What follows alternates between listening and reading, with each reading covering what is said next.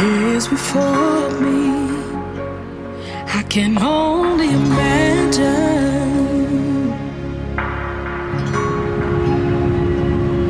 I could only imagine